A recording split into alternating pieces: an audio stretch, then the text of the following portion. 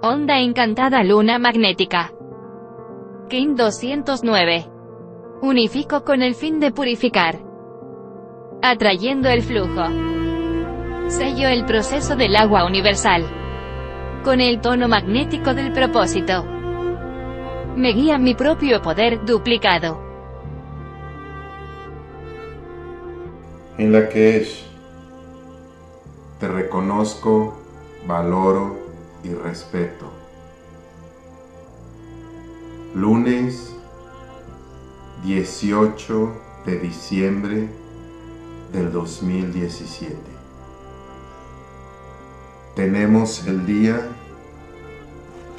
de la luna magnética, un muluk, el Kin 209. Hoy comenzamos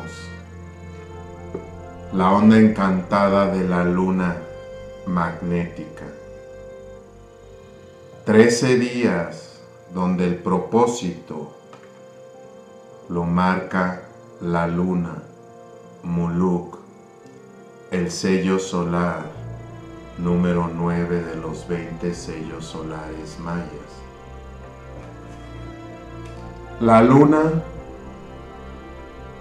tiene una gran influencia sobre nuestras emociones.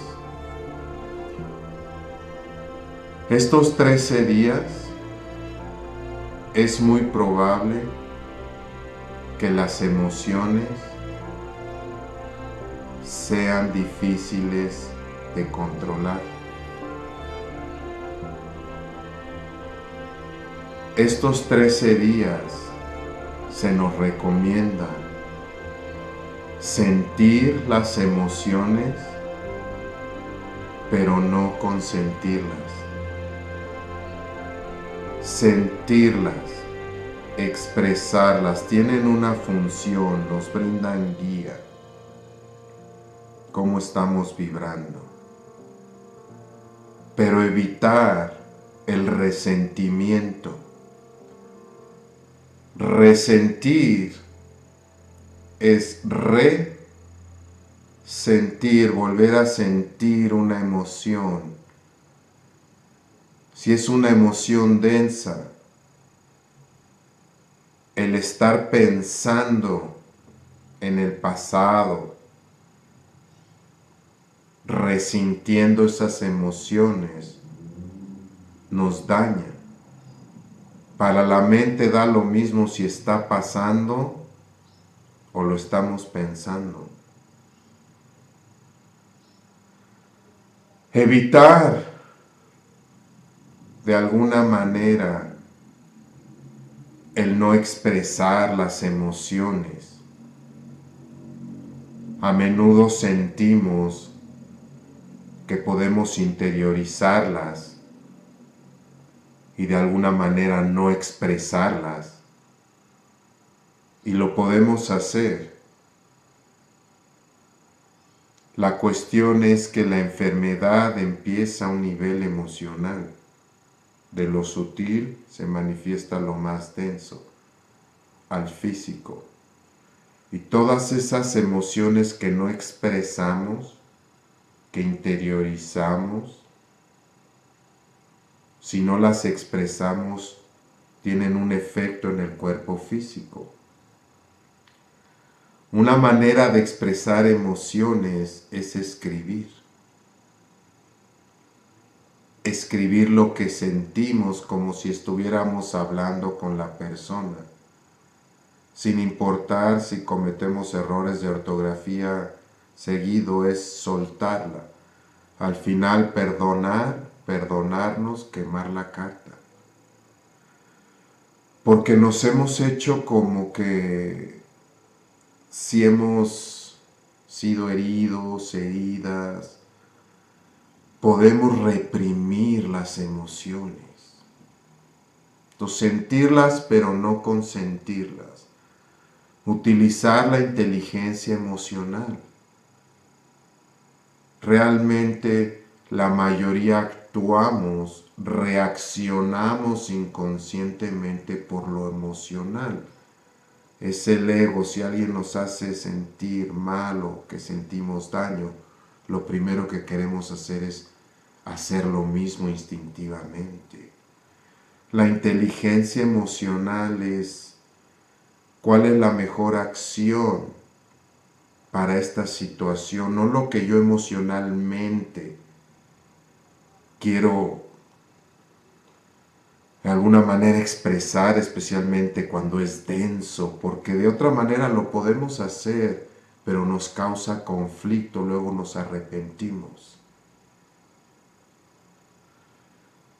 La luna es el misticismo, especialmente que vamos a finalizar casi este año con la energía de la luna.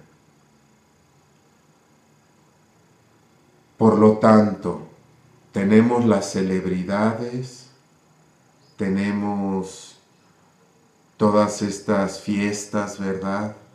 Y usualmente el ambiente puede ser emocional, denso, ¿verdad? Mucha gente se deprime.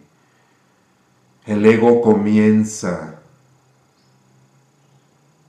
a revaluar, ¿verdad?, lo que hemos hecho y a compararnos con los demás. Si estás solo, sola y, y ves a una pareja aquí en México en una posada, abrazados, tomando ponche, te puedes sentir y yo sin pareja y tu enfoque, nuestro enfoque es nuestra realidad. Te puedes ir en picada horrible, ¿eh? En estas fechas, uy cuando más la gente se deprime. Pero cambiar el enfoque, agradecer, ver como un tiempo de cierre, de aprendizaje en vez de lo que no tengo, agradecer todo lo que se nos ha brindado este año, todas las bendiciones que no vemos. Entre más agradecemos, más bendiciones. Entonces es trabajar con la mente. No es fácil porque la mente le gusta irse al pasado, al futuro, el ego, estar comparando, mantenernos ocupados en paz, meditar, que este tiempo sea de agradecimiento y también de alguna manera ver si vernos al espejo y si lo que estamos manifestando si realmente estamos haciendo lo que amamos, si realmente estamos viviendo y evitar autoengañarnos, hacer esos cambios necesarios. Entonces puede ser una energía estos 13 días sumamente intensa, es casi hasta el 30. Por lo tanto, prestar atención y ser conscientes, cambiar el enfoque. La luna también es el perdón, es la energía del perdonar nos recuerda que no hay sanación sin perdonar. Estos días también, en vez de estar pensando mis regalos y regalo de Navidad y qué me voy a poner de vestido, de traje, la Navidad y todo eso, qué lindo si uno lo hace. Perdonar a esas personas que sentimos nos hirieron y perdonarnos a nosotros que sea un tiempo de perdón, de paz realmente. Ese es el significado, pero se ha vuelto más como una fiesta, como la fiesta número uno del año, básicamente. Entonces, perdonar si hay alguna persona que realmente sintiste te hirió, piensas en ella y todavía sientes así como conflicto, quiere decir que todavía realmente no has perdonado y de alguna manera hasta te controla porque pensar te pone de mal estado, nos pone, ¿verdad? Entonces perdonar. El perdón no cambia el pasado, pero sí cambia el futuro. Al final de esta encarnación, cuando dejemos este cuerpo físico, nos vamos a dar cuenta de que no había nada que perdonar solamente hay entendimiento. Porque hay cuestiones kármicas, hay muchas cosas, ¿verdad? Pero entender. El perdón libera a un prisionero y nos recuerda que el prisionero somos nosotros. El tono 1 marca el propósito de las ondas encantadas, que en este caso es de la luna. Nuevamente, hablando del propósito, cada 13 días lo recordamos, ¿verdad? Tenerlo presente. Recordemos que el Solkin es la combinación de 20 sellos sagrados mayas. Para los mayas, esta experiencia se comporta de manera arquetípica. Cada arquetipo es un modo de comportamiento, tiene luz y tiene sombra porque estamos en dualidad.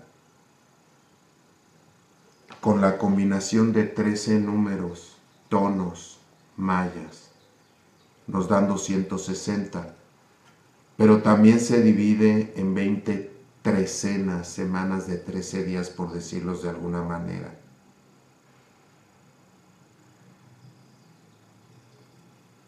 Cada trecena nos marca un propósito. Nuestro verdadero propósito, nuestra misión es nuestra pasión, es realmente hacer lo que amamos.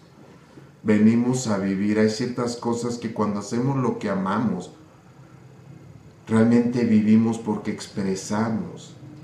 Lo que nos haga feliz, cantar, bailar, etcétera. A mí esto es lo que me hace feliz y por eso hace ocho años decidí soltar todo para dedicarme a esto.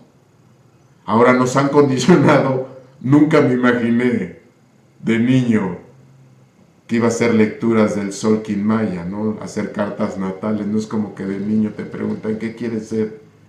Voy a hacer lecturas de cartas mayas, ¿no? Yo creo que mis padres me hubieran dicho, no, no, no, no, te tratan de, no, tienes que ser una profesión y cosas así. Por eso a veces no lo vemos, pero es lo que, esto es lo que me hace feliz. Por eso puedo hacer los videos diario. O sea, porque toma un tiempo y, como lo amo, entonces no lo veo como trabajo. Yo creo que si lo hubiera como trabajo ya lo hubiera dejado de hacer porque no me gustaría. Un trabajo es hacer algo que no quieres hacer, pero lo tienes que hacer. Porque te pagan. Cuando comienzas a hacer lo que amas, eventualmente generamos la energía del dinero. Creemos que no, pero llega. Ahora, si estás en un trabajo marcar los propósitos, realmente haces lo que amas. Si amas tu trabajo, sigue haciendo lo mismo. Bendiciones, porque la mayoría no lo ama. Si tú le preguntas a 100 personas en la calle si aman su trabajo, lo que les pagan, cómo los tratan, yo, digo que más como 99 dirían aquí en México donde eso, porque les ves las caras, dirían que no, si no es que los 100. Pero sentimos que si hacemos lo que queremos hacer, no vamos a tener dinero suficiente. Y en esta experiencia nos las han presentado, se necesita el dinero, pero comenzar a hacer lo que amas, sea lo que sea. A menudo estamos buscando un propósito tan especial, ¿verdad? Salvar a la, a la experiencia de la tierra, ¿verdad? A las personas. Es hacer lo que amamos y e integrar nuestra dualidad, hacernos conscientes, porque la mayoría de la información que nos ha brindado es errónea, la gran mayoría. Pero la hemos tomado como una verdad, lo que nos presentan, nacimos y nos comienzan a educar desde niños, así es esto, así de tiene que ser, entonces crecemos y ya no cuestionamos. La mayoría no cuestionamos lo que nos dicen los libros, lo tomamos, sabes que alguien ya lo estudió y todo tiene que ser real. Desde el espacio, la tierra, tantas cosas que no nos damos cuenta. Y esas creencias se han formulado y son muy difíciles a menudo de cambiar. No vemos las cosas como son, la vemos como somos. Abrir nuestra mente y por eso cuestionar todo, investigarlo nosotros. No es suficiente con lo que nos dicen. Tu misión es tu pasión, empieza a hacer lo que amas. Hace ocho años yo decidí hacerlo y en mi caso, quizás tienes hijos, estás casado, casada y dices, tengo tantas responsabilidades, es imposible. Si crees que es imposible, así será, ya te lo dijiste. Tienes que empezar creyendo que sí se puede. Puedes empezar a dedicar un poco de tiempo a hacerlo, pero es la constancia. Es la constancia. Y aunque sea de poco a poco, vas a ver y, y ese tiempo te va a ser terapéutico porque haces lo que amas. Te gusta pintar, dibujar, bailar, cantar, hacer esculturas, escribir, no sé. A mí personalmente yo le recomiendo a la gente que empiece a hacer lo que lo que ames, comienza a ver que realmente qué es como un hobby que harías aunque no te pagaran. Ver de qué manera puedes a través del internet comenzar a, a compartir acerca del tema, porque como lo amas, usualmente cuando amamos algo nos hacemos nos hacemos buenos de alguna manera porque nos gusta. Entonces pasamos tiempo, ¿verdad? Y estamos haciendo cosas. Estamos investigando. Entonces el Internet te da el tiempo porque es en tu propia casa, tu propio tiempo. Es por eso que decidí yo hacer este tipo de información. Sabía que hace nueve años todavía no había mucho en Internet, era poco, la mayoría era en inglés casi en español no había. Y yo había tenido un, consultorio de terapias holísticas donde yo tenía que pagar un alquiler y eso me estaba cansando año tras año porque veía cómo era.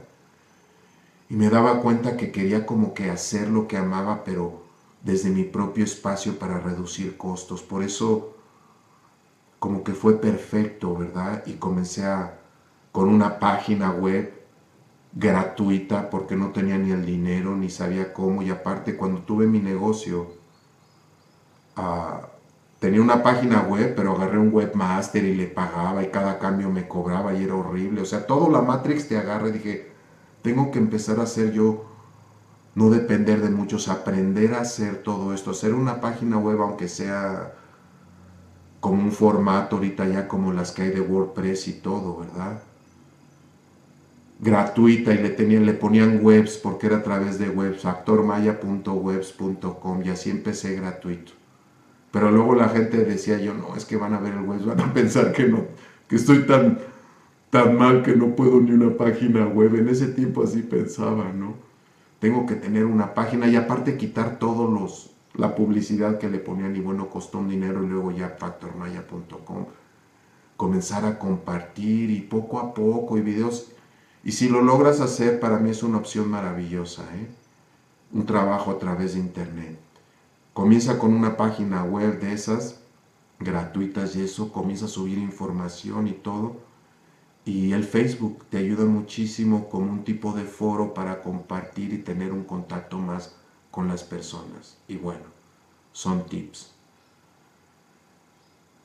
Si te interesa una lectura de tu carta natal maya en este tiempo, realmente es de gran ayuda para hacer ese cambio, conocer más las tendencias. Sí, la carta natal maya no es como una lectura tradicional astrológica de lo que te puede pasar y, cosas así, más que nada tiene que ver con el autoconocimiento, con las tendencias en luz y en sombra.